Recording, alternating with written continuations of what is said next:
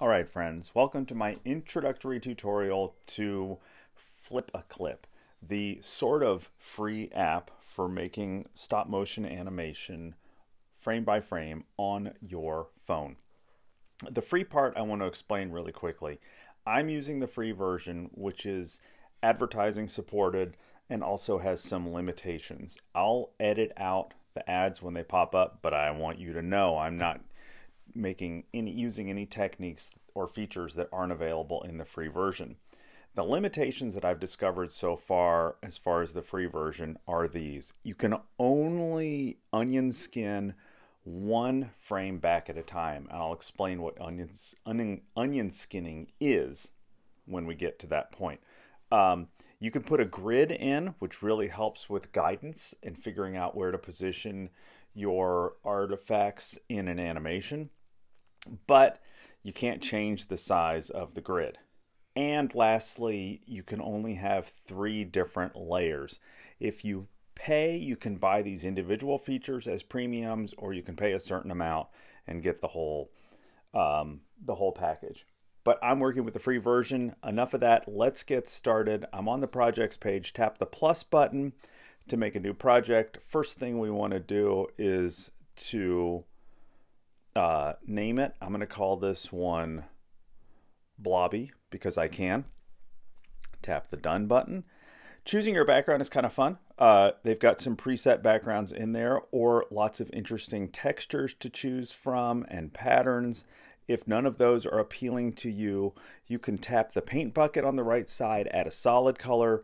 You could tap the image button on the middle right and pull an image from your camera roll or you can tap the picture itself and take a live photo with your phone. I'm going to go with a paper texture. Canvas size itself. This, these are the proportions and dimensions of the canvas size set up for all the various possible popular social media platforms. I'm going to roll with just YouTube and be happy. Uh, frames per second you can Google this, friends, but they've also included a really useful tool to visualize the difference between 12 frames per second, which is the default, one frame per second, or at the top end, 30. I'm going to keep it at 12. Understand that in order to get one second of footage at 30 frames per second, you have to build 30 frames. So it takes longer, but the reward is you'll get smoother animation. I'll stick with 12 and be happy. Tap the check mark in the top right corner. Tap on create project and here we are. I'm using a double pinch to zoom and pan, which is very useful for me. I am going to choose a drawing tool by tapping on the pen right here and I will get a pop-up below. I'm going to work with the brush. I encourage you to explore the different drawing tools, but in the interest of your time, I'm going to go with the brush. I'm going to pick a brush color by tapping on the square in the lower left. I will choose purple.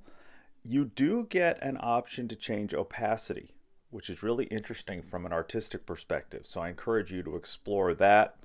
I'm going to go with 100% opacity, make it nice and solid. Tap the X in the top left. And then last thing I'm going to do before we start animating is to tap and hold this circle that's between the brush and the purple square on the left side.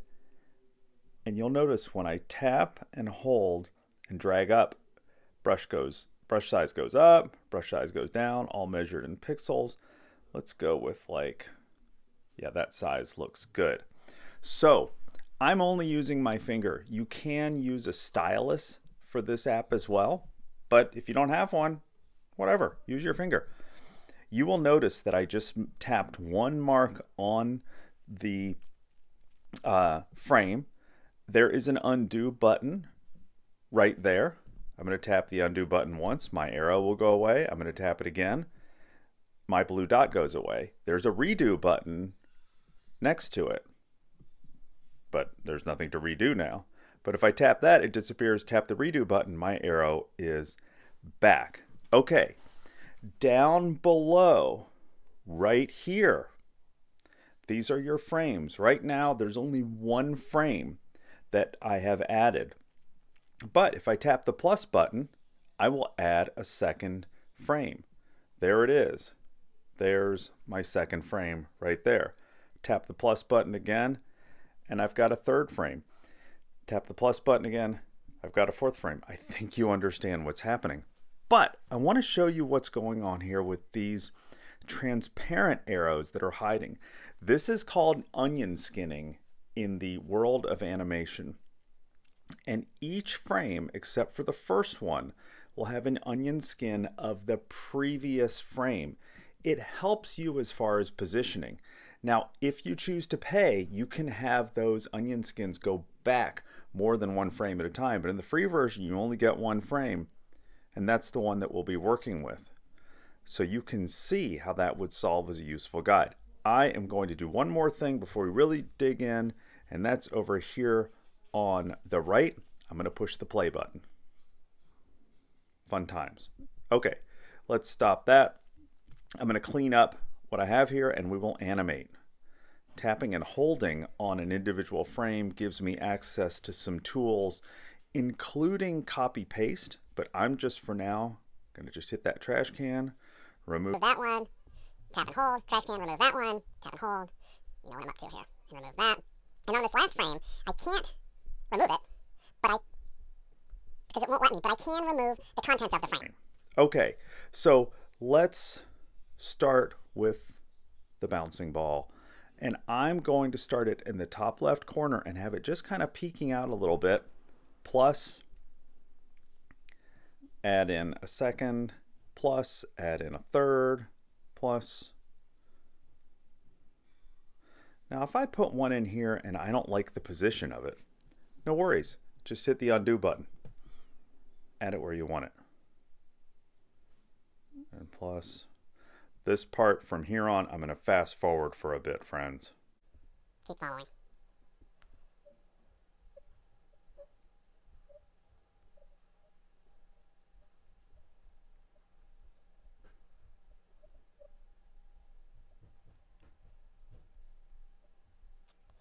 Alright, and we're back live. And you can see I've already put a bounce in there. Let's push the play button on the right side, see what we have. Okay? I've animated. If you followed along, you've animated as well. I'm going to give you one animation technique here, and then we're going to wrap this up. So if I keep going, right, and I'm going to have my ball go back down. It's going to bounce off the bottom of the frame. And I'm going to do a pinch zoom here so you can really see this.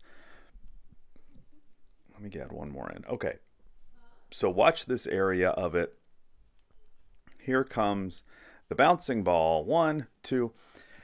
One of the techniques that animators developed a long time ago is the idea that when an object hits something, you want to show it visually squishing.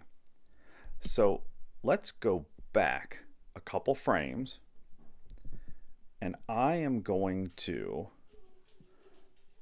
put in a solid one there. But then when I get to this frame, I'm going to try with my finger to draw kind of a smushed one. I am not an artist, friends. You can tell by watching. Don't stress out. Although if you are, we'll just be jealous. Okay, I'm going to call that a squishy one, right? Here's another squishy one right here. These are not perfect. You can do better. Okay, now as after it has bounced, right? There's our bounce, bounce, bounce. In our next frame, we're going to try and return this to be a normal shape. And now let's see how we do. I'm not going to get hired by Pixar or Walt Disney, but I hope you've appreciated this one simple technique of making your animation a little bit more visually interesting to your viewers. I'll press that stop button. And now, friends, let's say our animation is done. We're happy. I'm going to tap in on the three circles in the top right corner, go down to make movie. And all of these are set. Uh, I'm going to change though from an MP4 to a GIF because I can. Look at it. It tells you at the bottom it's three seconds long, how many frames you have, and what your frames per second are. The FlipaClip watermark, if you choose to turn that off, it automatically asks you to buy it. So you know what you need to do there. Keep using the free one or go buy it. It's up to you. I'm going to tap on make movie. It will churn away. And there is my GIF suitable for sharing, uploading to Google Classroom if that's what you're up to. Thanks for watching and have a great rest of your day enjoying FlipaClip.